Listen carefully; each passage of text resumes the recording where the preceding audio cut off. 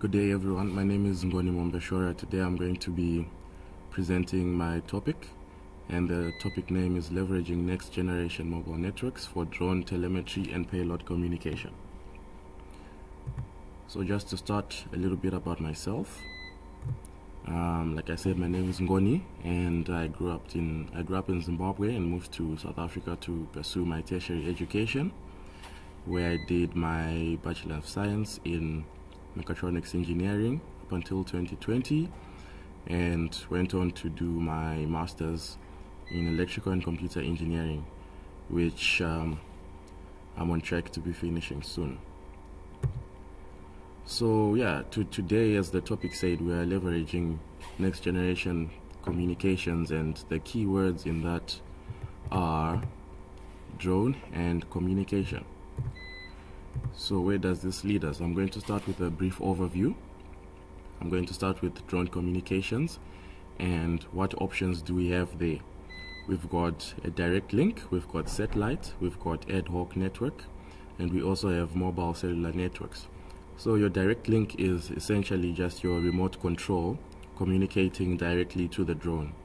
Um, yeah, an advantage of this is it's relatively easy to set up. Uh, nothing complex there and it's a simple link of, although it does come with some limitations and the biggest of those is line of sight. So if your drone goes a bit too far or maybe let's say behind a building uh, or trees or it's in a dense area with a lot of interference you are most likely to lose control of your drone. The other option is satellite communications and this gives your drone internet and communication access via the satellite.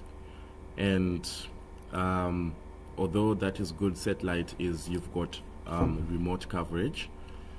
So that's an advantage over the direct link. But the drawback of using satellite communications is that you have uh, you've got very complex, um, bulky, and heavy equipment on board the drone. So yeah, you run into your swap constraints, which is your size, weight, and power constraints. So because of that, it tends to be very expensive, very expensive drones, and so on. Uh, the other option is ad hoc networks, and ad hoc networks are bespoke networks that have been set up for like a specific task. Um, the drawback of this when you're using it with, with drones is that they are again they are for a very specific task and it's like an almost um, hacky way of setting up a communication to your drone. And um, yeah, the drawback of this is that you run in you run into like very complex routing protocols, and ad hoc networks are not transferable to um, other devices and other use cases as well. So setup time turns up to be really high. But yeah, they are quite robust networks. And the other option we have is mobile slash cellular networks. And um, this is essentially what we are going to be dealing with today. So mobile networks, you have got global coverage. They are available anyway. Um, although you do like um, they aren't there in some very remote areas. But just like your cell phone, whenever you're moving from city to city, from country to country, wherever you are, you've got um, network coverage on your cell phone. So because of this, um, we are going to dive a little deeper into mobile networks for drone communications. So yeah, what are the problems? So understanding the problems with respect to drone communication, like I had mentioned before, we've got our line of sight limitation. Um, yeah, if your drone if your drone goes too far, you lose control of it. We've got our uplink and downlink data rates, and this is highly dependent on the drone use case itself. When you're just command and controlling it, pretty much just flying it, you don't need very high data rates. About 200 kilobits per second is good enough. But let's say you are streaming HD video, that, that becomes a big issue. And you want a communication system that's able to handle those high data rates. Latency is also an issue. Um, let's say you're flying a drone in real time. You are gonna want it to react to your input as quickly as possible, you know. And it also depends on some use cases. Let's say you're delivering medical equipment and or you are doing drone racing. Um, latency does become an important factor. The other factor to consider is coverage. And um, yeah, pretty much depending on the use case. Again, uh, let's say you are doing farmland mapping or you are doing drone entertainment at a, at a shopping mall. Um, farmland mapping would require very high coverage, whereas drone entertainment at a shopping mall, it's, it's, it's quite a localized thing. So yeah, because of these um, problems here, like these four issues, these are the four main issues. And yeah, what this ultimately leads to is you've got a limited number of use cases for drones. So yeah, just to mention a few use cases. Um, I've put these use cases according to um, some of the limitations that we run into. And some of them, the first one here being coverage uh, limitation. Like let's say you are, you are spraying plants and you're on a farm, you're doing pretty much drone farming or power line inspection. Um, yeah, over here, this is a height constraint. So yeah, if you're doing those first two use cases there, your drone is flying pretty low and, and it's got an altitude of about up to 10, 15 meters, whereas compared to upper airspace ins inspection, uh, your drone is high up in the air and yeah, one might be testing, let's say, um, carbon dioxide concentration in the air or, or yeah. Um, so with regards to this, you've got a height limitation and you need some communication systems that can um, accommodate for, for that when you're flying 10 meters in the air as compared to about 300 or 400 meters in the air. And yeah, hotspot areas, you've got stadiums, shopping mall, that's your aerial entertainment, which is a hotspot area, you don't need much coverage there. Whereas when you're doing farmland mapping or logistics and transportation, you need to be able to communicate with your drone from a long a longer distance. And yeah, so with regards to data rates, uh, like I mentioned before, command and control transmission is not demanding in terms of data rates. 200 kilobits per second is enough, whereas when you want to do 8K HD video streaming or AR, VR streaming or video capture, um, yeah, you need you you need round about one gigabits per second for AR and VR. For 8K video streaming, you're looking at about 500 megabits per second.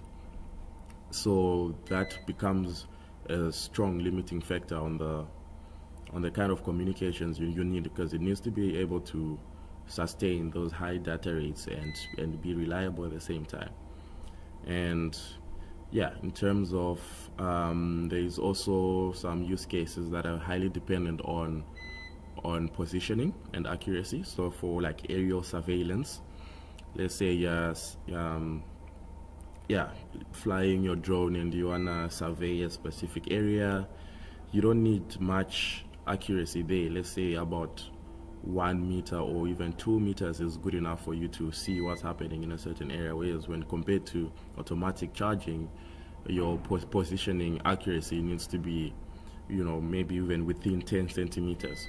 So these are just some drone use cases and uh, yeah, some of their limitations that come along with them as well.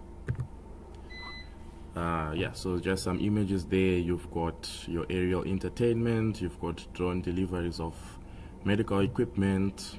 Um, in the picture here, you see Mark Zuckerberg.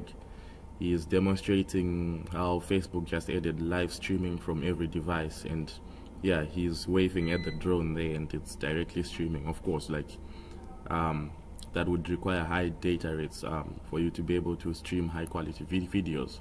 And on the right side, you've got your automatic charging pad. So when your drone is landing there, needs to be pretty accurate on where it's going to land and yeah, make, making sure that it doesn't miss the landing pad there. So your GPS accuracy, accuracy needs to be really good.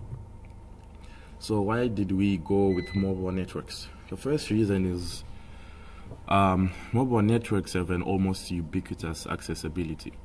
Like I had mentioned before, they're everywhere, right? Um, wherever wherever wherever you are they've got coverage. They've got superior performance as well in terms of um, data rates and latency which we are going to get into a bit later. Um, they're highly scalable and they're based on evolving standards. They are highly interoperable and they're backwards compatible what i mean by this is that wherever you are let's say your phone has got 5g and you know you're connected to your mobile network service provider via 5g if you reach an area where that connection is not strong enough or 5G is not available, it reverts back to 4G and it reverts back to 3G and so on. So, yeah, they are backwards compatible and they are everywhere. And for these reasons, um, we're, we're going to look to dive a bit more into how we can leverage mobile networks for drone communication. And uh, with regards to mobile networks, we are going to be specifically focusing on 5G. And the reason for this is that not much experimental research has taken place or research in terms of using 5G mobile networks for drones. And yeah, 5G has come with a lot of buzzwords. Um, and yeah, for this reason, I've chosen to look at 5G for drone use usage. Um, the first one there being network slicing. And network slicing is essentially when your phone connects to a network, the network kind of picks up the kind of quality of service that you want from the mobile network and it creates a slice or like an instance of that network and then and then connects you there so it's not like 4g let's say when you when you connect your quality of service is essentially what everyone else is getting or any other device that's going to connect there is getting the same quality of service which is which helps differentiate things. And we can lev leverage this in terms of drone usage because for example let's say I am doing a video call right?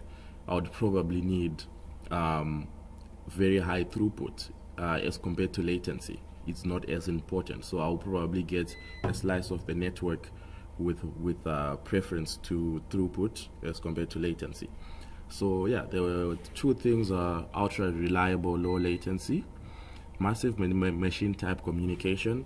So 5G, the 5G core network itself is is capable of interacting with um, other machines um, using a specific protocol.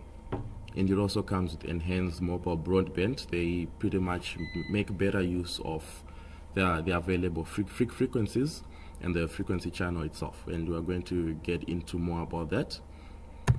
This one is my personal favorite and this is 3D beamforming. So the best way to describe this is using this picture there. As you can see, you've got your network tower, your 4G network tower there. And what this essentially was is you've got your one antenna pointing in some certain direction. Some are unidirectional, but everyone is getting the same beam. So if you're further away, you're gonna get a weaker signal and so on and so forth. Whereas 5G, instead of having one antenna, you have what they call an antenna array. And through the process of um, interference, what these antenna arrays do can, can pick out your location where you are and concentrate a beam towards a specific user equipment. So that means you've got a more robust communication line. Um, in that regard. So that's really interesting because um, drone communication um, for drone communication because a drone is is flying. It's a high mobility device and it's flying in the 3D space, and you always need to have that strong communication channel. Also, considering the interference that would come from your propellers and this and this 3D maneuvering as well. So the other one is 5G spectrum and frequency utilization. So 5G is, uh, yeah, um, is made better usage of um, this, the, the spectrum and the frequency utilization. And um, one of the things that it does that is is via numerology. So what is numerology? Numerology is a technique that also is used to really uh, bring out that ultra low latency. So in mobile networks, uh, we have a thing called a radio resource. And what a radio resource is, is pretty much an OFDM signal, OFDM standing for orthogonal frequency division multiplexing. and yeah, it's a way of um, propagating um, data over over the air. And what what it does is that each radio resource has got a chunk of 12 subcarriers, and um, let's say in the example here, we've got a 15 kilohertz um, subcarrier spacing and a one millisecond signal that yeah a signal that takes one millisecond to transmit. Let's say it's a some piece of data. And yeah mobile networks up to 4g lte this is essentially what they use and um, now with 5g what they do is that you can change or in increase the number the sub the sub carrier spacing that you use so you can use 15 kilohertz, 30 kilohertz, 60 kilohertz, all the way up to 240 kilohertz.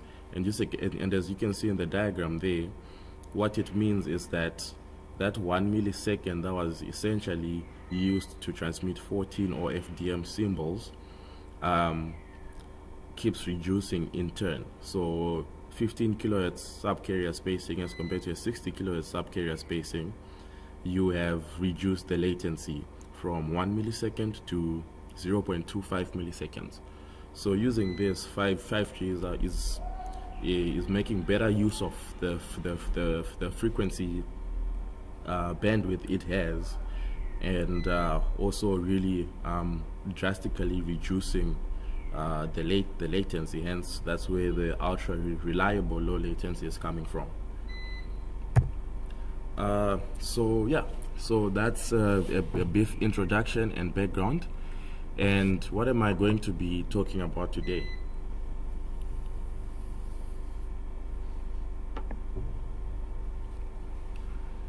So today I'm going to be talking about uh, the implementation of an SDR-based open source 4G, 5G network for drone communication.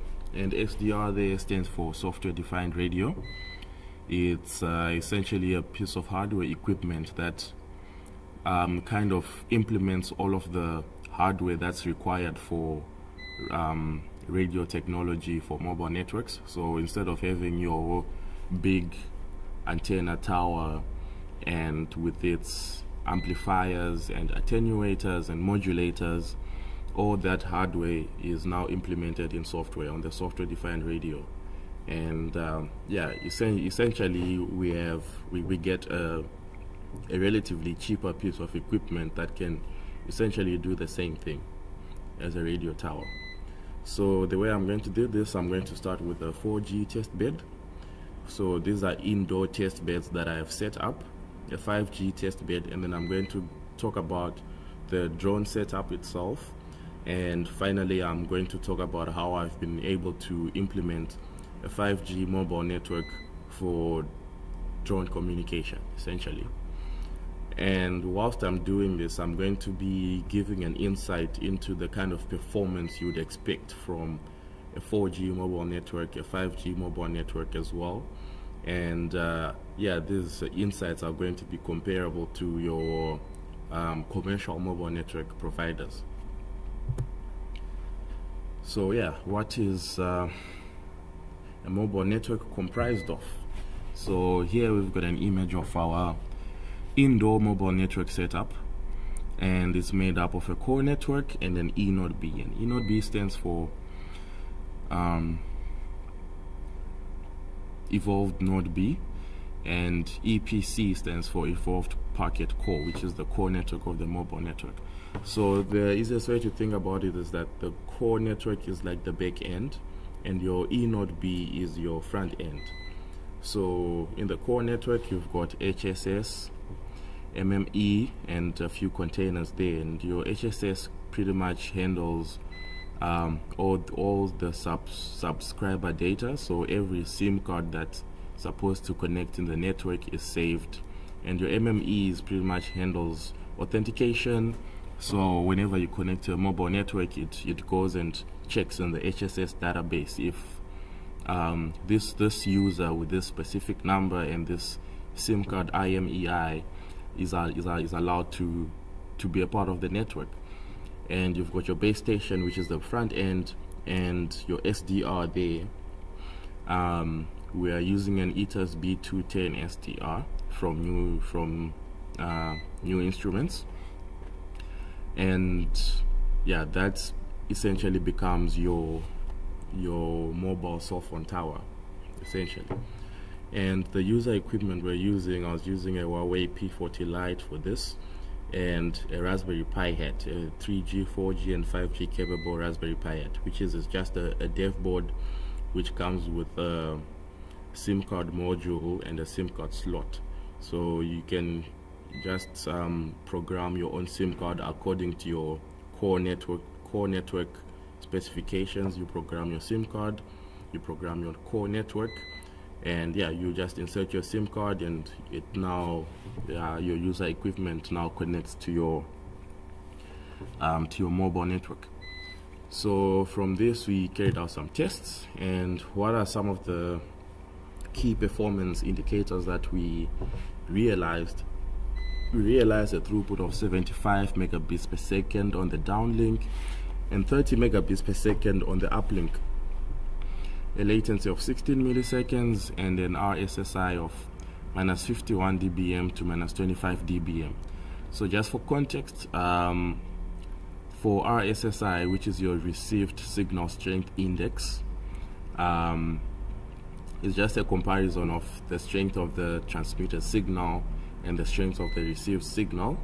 And um, just for context um, an RSSI value of minus 50 dBm in mobile networks is considered really good and obviously 0 dBm would be would be the would be the ideal value would be the best value and yeah minus 50 dBm uh, RSSI indicates a value that um, your mobile network is is pretty much like commercially viable uh, in that in that regard. And from then on, we went to set up a 5G test bed. You'll see that our 5G test bed is quite similar to the 4G test bed because that's because the 5G test bed is a non-standalone test bed. A non-standalone test bed is essentially a, a mixture of 4G and 5G, and I'm going to explain that how that is um, because in 5G we've got non-standalone and we've got standalone. So a standalone 5G test bed is essentially quite similar to a 4G testbed, but instead of having a 4G core network, we've got a 5G core network and a 5G base station. So here in non-standalone mode, we we use our 4G core network, we use our 4G base station, and we use our 5G base station so a 5G base station is added on there and what this essentially means is that we've got two cell phone towers and the way this works is let's say your phone would um, look for available mobile networks that it can connect to it will find this one and it will connect via 4G and once it has connected via 4G your 4G base station will receive user information uh, user equipment in, in, in, information. And if your phone is 5G capable it would then transfer that connection um, onto the 5G base station. And hence now your phone is directly connected to 5G and communication is done via that. So yeah what are some of the key performance indicators? Um, we have 90 megabits per second on the downlink. So the downlink is from your base station to the to your user equipment. And on the uplink we've got 30 megabits per second a latency of 5 milliseconds. So when you compare that to the 4g latency that's um, less than half. It went down from 16 milliseconds to 5 milliseconds. Um, so yeah that's also like that that low latency that I was talking about when it comes to to the implementation of the 5G mobile network. And uh, we've got the same RSSI, uh, reason being that channel communications are the same, um, transmit power for the base stations are the same as well.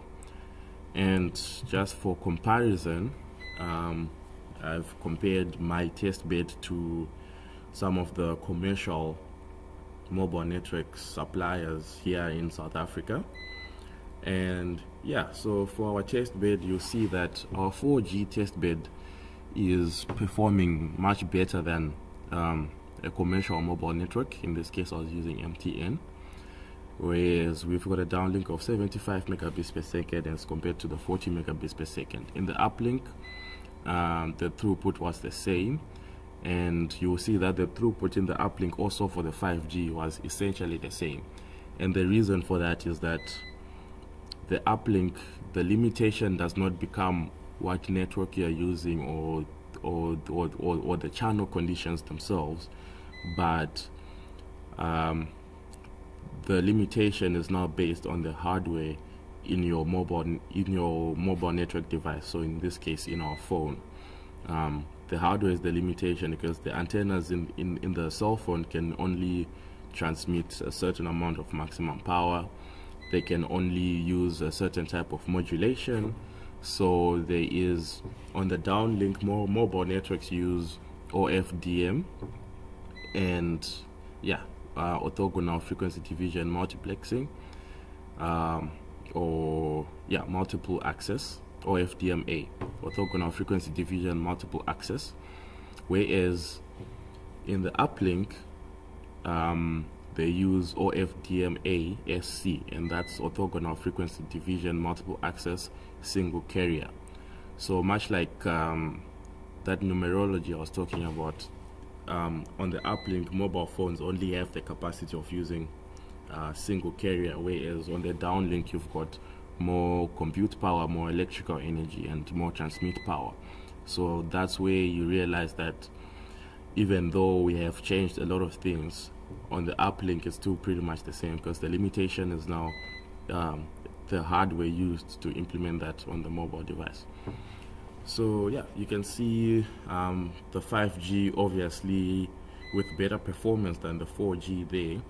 Our 5G test bed with a downlink of um, 90 megabits per second, approximately 90 megabits per second, as compared to the commercial one, which is 252 megabits per second.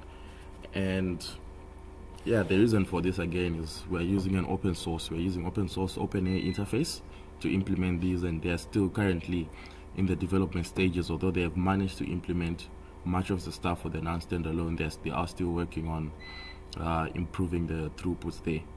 Although yeah we, we did have better latency and that's probably to do with the channel conditions themselves.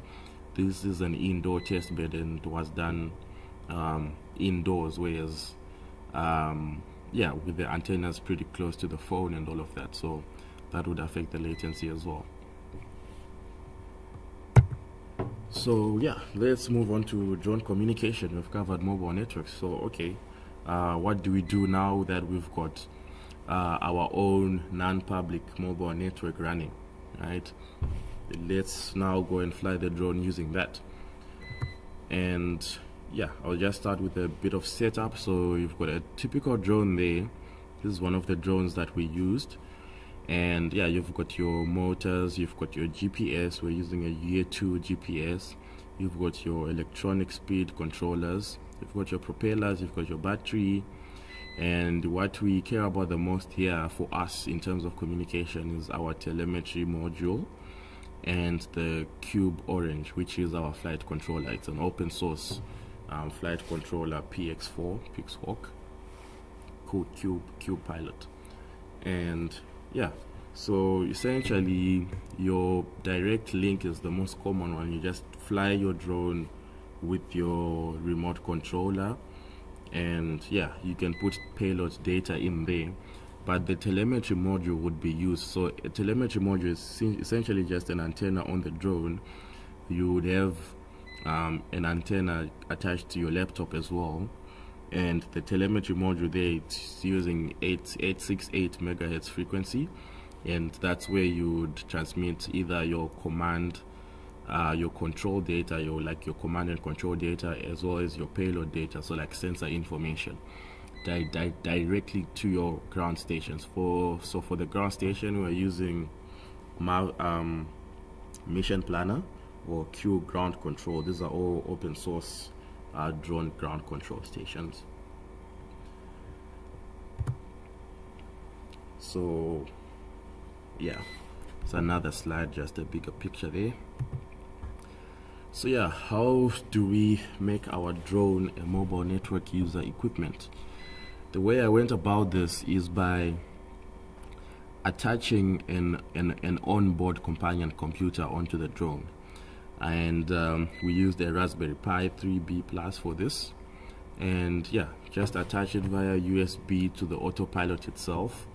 So now the Raspberry Pi can send commands to the autopilot and receive commands and receive um, commands con or, con or, or, control information from the drone. So the autopilot PX4, which is your Q pilot, um, your autopilot is essentially now you're now able to get access to it using the Raspberry Pi. From then on, we went to attach a Pi hat. So the Pi hat is on top of the Raspberry Pi, and yeah, the Pi hat um, essentially is what makes uh, the drone part of the mobile net, net network itself. The Pi hat comes with a SIM card that can connect to the mobile network. So yeah, so that's your setup there. Um, this is the drone that we used. Um, and just uh, to zoom in there, you'll see that we've got our flight controller there at the bottom in this case here on top is our Raspberry Pi attached to the Pi hat and yeah we've got our five antennas there um, essentially for mobile network communication and yeah so yeah what does the full picture look like? The full picture looks something like this. We've got our 5G mobile network here which is everything on the left which you will see that we went through except that we only added mission planner. So the core network itself and the mission planner computer are the same computer. They are running on the on the same computer. And so yeah so on the right side that's our mobile network.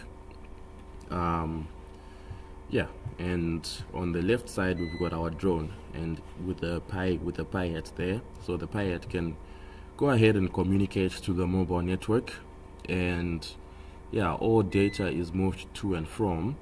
So in, in terms of drones um, there's a communication they use the communication protocol they use is called mavlink and that's almost the standard communication protocol used for open source drones and uh, yeah that's what we were using here. And we're using mavlink router. And mavlink router is just a piece of software that enables you to route to listen to the autopilot. So over here on the left on, on the left hand side here if you look we've got a Mavlink router container which is dockerized um, it listens to the px4 and, and and and sends that information to a specific ip address. And yeah anything that comes to this ip address as well it forwards it to the autopilot so Mavlink router there and within the core network we have added into what is called the application layer of the core network. We've added a container, a Dockerized container there called Mavlink traffic generation. And what that does is essentially also just an instance of Mavlink router. So when anything comes to the core network, it's directly routed to the mission planner application or the QGroundControl application, which is your ground control stations. And yeah that's this is essentially it. This is how we we, we get our drone um, to communicate with our ground station via the mobile network. So you see here we've got our red lines there and that's essentially how traffic would move to and from the drone to your ground control station um, the red solid lines being your 5G so from the Pi hat antenna to the 5G base station, to the core network, and, and to your mission planner application. And the red dotted lines, those are your, that shows the channel communication for the 4G. So the good thing about this is, like I said, um, mobile networks are being backward compatible in the fact that our mobile net, net, net networks has got, our mobile network has got um, 5G available as well as 4G. So whenever it's flying, whenever your drone is flying, and you have got your 5G communication channel deteriorating or the chan channel conditions are not too great, it will always back it will always revert back to 4G.